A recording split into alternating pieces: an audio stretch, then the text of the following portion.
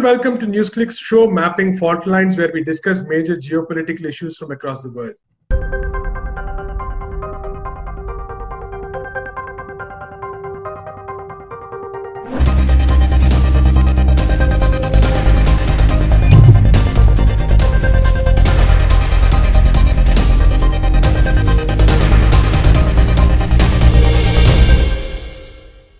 Today, we're going to be talking about the United States moving the United Nations, asking for sanctions to be reimposed on Iran. Now, the sanctions were withdrawn as part of the Iran nuclear deal in 2015, of which the US was also a member. The US, of course, withdrew from this deal in 2018, but the other members have continued to be part of the deal. But it is now insisting that Iran has violated the deal, and so the sanctions, the UN sanctions, should be reimposed. So, to talk more about this, we have with us Prabir Purkayastha.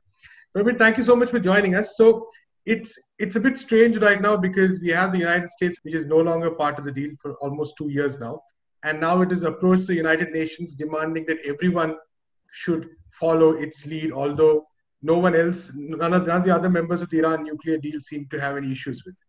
Since this is a show on fault lines, let's look at the fault lines. One, of course, is the obvious fault line between the United States and Iran and nothing really has changed on that. But what we are seeing is the emergence of a new fault line between the United States and all the other members who signed the agreement along with the United States with Iran in the JCPOA. Now, in that agreement, it's United States which withdrew in 2018. In fact, it said that we cannot continue with this agreement. We are withdrawing. We're no longer a party to it. That's its official position. Now, if you claim that you are not party to an agreement, can you now come back and say other parties have not fulfilled the agreement and therefore now they must, under the agreement, they must do ABC? So, can you, in other words, have your cake and eat it too? Or rather, having eaten it, you really have your cake. Now, this is the uh, really the issue that is there.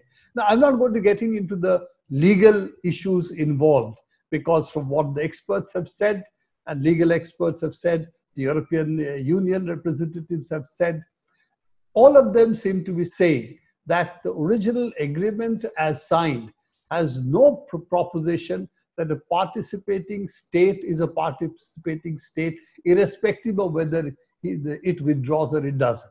So a participating unit, uh, state is a state which is participating in the agreement, not what it was when it was founded. That's only a statement of fact. So these are the participating states which have drawn up the agreement. Therefore, US is trying to play completely different things. One is the agreement itself, and other is the United Nations Security Council resolution. And therefore, this is not a legal or a tenable uh, interpretation leaving that out you know this is the legal part of it which you know as as you, you would know lawyers can spend hours discussing splitting hairs in, in effect. So we don't want to get into lawyerly debates in this. That's best best left to lawyers. Uh, so question is really what is likely to happen? There are two things over here. One is what is us really asking US is asking that though nobody else wants to sanction Iran, because I have sanctioned Iran, I have pulled out of the deal.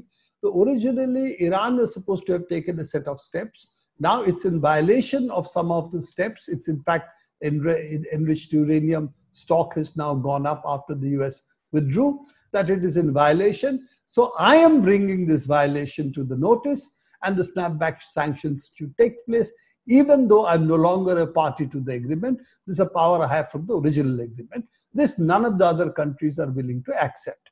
Now, a simple issue is nothing can be placed on the agenda of the Security Council without nine members voting for it. It needs a majority for the agenda to be passed.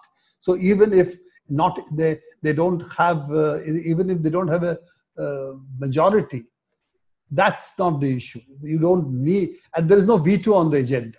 So therefore, simply put, this agenda may never come up in front of the Security Council if there are not seven, uh, there are I think nine votes for it. That would be the Security Council uh, majority that would be required.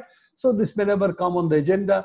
Therefore, U- US would declare that because there is no resolution which stops the snapback. Snapback has occurred because, because I have given a notice, and therefore now snapback exists as per United Nations, even if United Nations does not say so.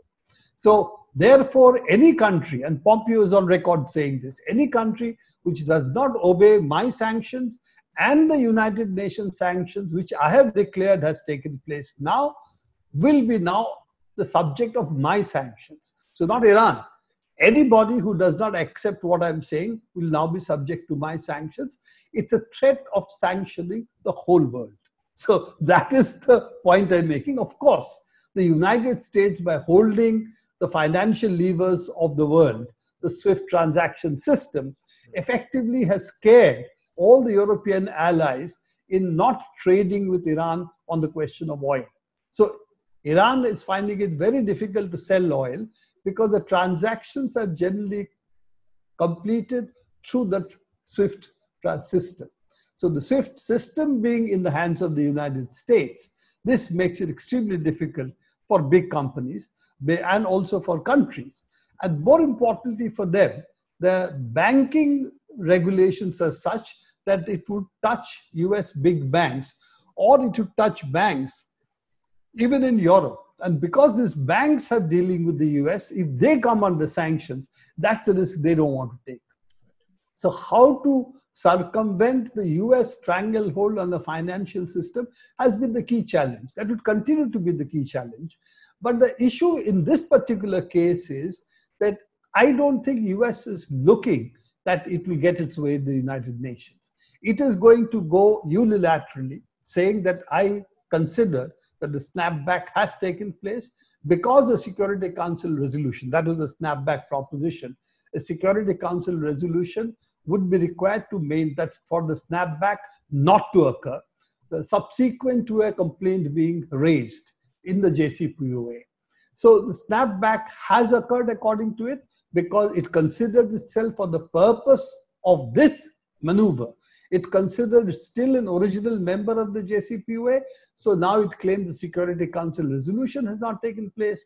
And if it does not happen within 30 days, then the US interpretation is the UN sanctions are holding good, even though UN's interpretation is not going to be that. Doesn't like look likely it's going to be that given the fact the western european countries france germany and uk don't seem to be going along with it. Russia and china are obviously not with it. So given five countries are not with it it's unlikely it's going to get a majority even on the agenda of the united uh, nations security council so given all of this that's not the real issue the real issue is that how much can united states push the rest of the world in dealings with Iran. Already, the United States sanctions have, in effect, made Iran's life difficult and it's made Iran's exports really come down, particularly on the issue of oil. So, given all of that, that is really where the US is wielding its powers. So, I think the snapback sanction is just another uh, propaganda ploy by Pompeo Trump and it is claiming a victory. It will claim a victory that it has succeeded because the snapback is in place, because it gave a notice. So it is increasingly going to live in this fractured world right. where the reality, according to Trump and Pompeo, are different according to the reality of all others. But the problem is the financial control that the US has. And that is something that the uh, other countries will have to address sooner or later. Absolutely. That if they do not agree with the United States, the question is how far are they willing to go to create a truly multipolar world in terms of not only the geostrategic issues, but also in terms of the financial architecture of the world. And I think that's increasingly going to become the issue. That how can European Union, and this is really about European Union, it is UK, it is France, it is Germany. Sure. All three have disagreed with the United States on the JCPOA, on the question of Iran, and the value of the Iran nuclear deal. So, are they willing to buck the United States or not? This is another pressure that the US is putting on them. How far they're willing to stand up to it is really the question. Right, absolutely. And in this context, we do know that uh, the European Union launched Instex, which was supposed to be an alternative payment mechanism to the United States dominated SWIFT mechanism. And although it was not really very effective, it was basically meant only for humanitarian trade, nonetheless, it did mark a step. So, do you think that the possibility of the US again becoming more aggressive on these sanctions might again, say, push back some of these initiatives or lead to them being abandoned? You know, I think the real issue that is increasingly going to be faced, and it's going to be faced on a number of counts, is does the European Union have an independent position, particularly when it does not agree with the United States? Now, you can have an independent position, but you are ineffective in that position. You don't do anything about it. You make some vague noises that you don't pursue it. If that is the proposition that is there, then of course, European Union will do nothing. The question is, as increasingly United States starts disagreeing with European Union on a number of issues. It's not only Iran. The real, uh, the other breaks that are going to come on that is trading with China, for instance, right. trading with the with the Russians. With the Russian, there is the issue of what you know, the Nord Stream uh, pipeline, oil pipeline, and on that, it's a Germany, uh, Turkey, countries like that, which are on the crosshairs of the United States. So, are they willing to do something on that? Now, all of this is, I, I suspect, coming to a head if Trump wins the election. If Trump doesn't win the election, maybe Biden will try to get something back and try to re-establish some kind of uh, NATO unity.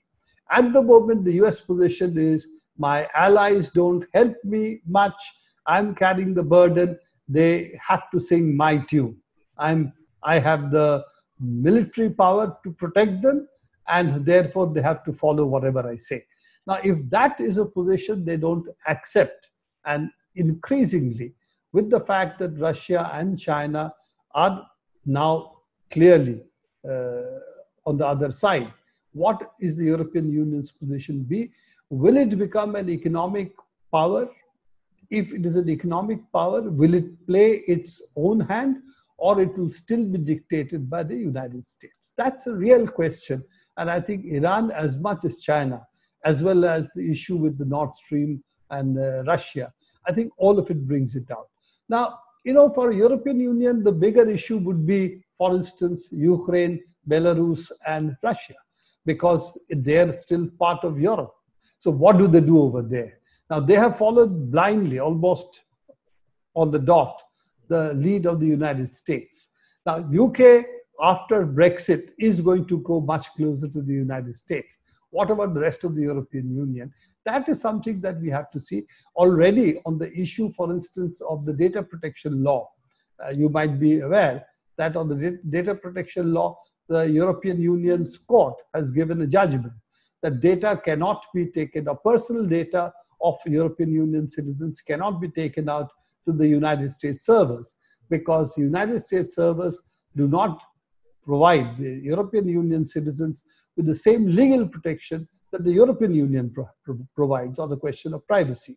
And it clearly boils down to the fact that the United States does not provide any legal protection against intelligence agencies of the United States looking at personal data that is there stored on the servers if they're non-US citizens.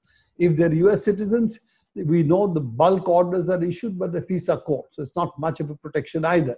But at least there is a fig leaf of a protection. There is none for non-citizens of the US. That's something that should concern India as well.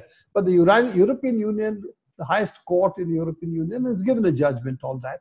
And there are also issues regarding this big four, GAFA as it is being called, Google, Apple, uh, Facebook, and Amazon. And also Microsoft, if you add to that I think their combined uh, market capitalization is right. today more than 6 trillion. Okay. And that would make them in, if it was, uh, if you take that equivalent, if you take that equivalent to the GDP of countries, then that would make them the third largest in the world. Given that size of the market power that these uh, software companies or digital uh, monopolies wield, the European Union also has certain economic issues with the United States. Now, it's an un, uncharted territory for the European Union, which way it will go. till now it has not bucked the United States. It has said, yes, we don't agree with the United States, but they haven't, as we have discussed, they haven't really provided any concrete action in terms of accepting Iran's oil, for example. So, given that, what is it that it is going to do?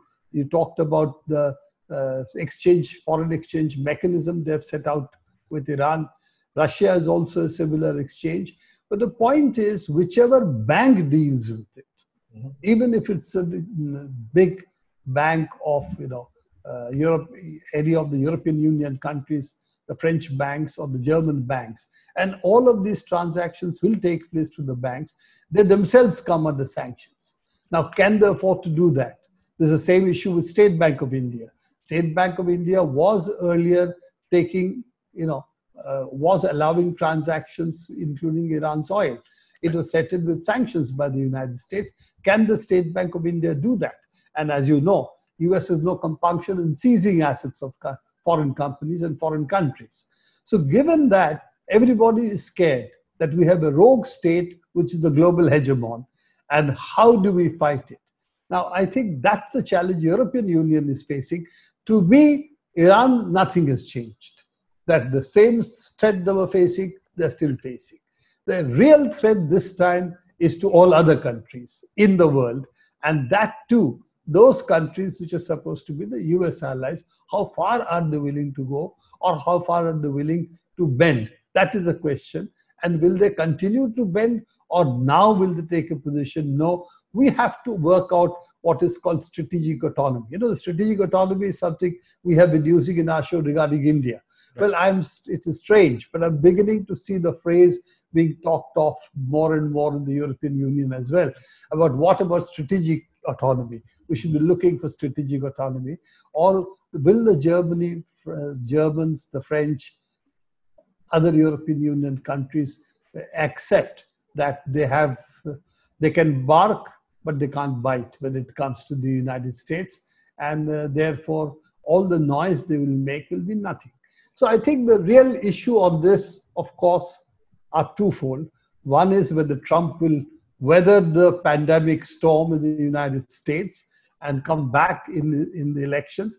At the moment, his prospects don't look so bright, but neither did it look bright last time. Right. So we can always be wrong on that one. This time, maybe more grounds to think that he may not win the election. But more important, and this is a much longer issue, does the United States have the ability to bend all its allies to its will, even when it is in the wrong? And that is something that we have to watch for. Thank you so much, Prabir, for talking to us. That's all we have time for today. Keep watching NewsClick.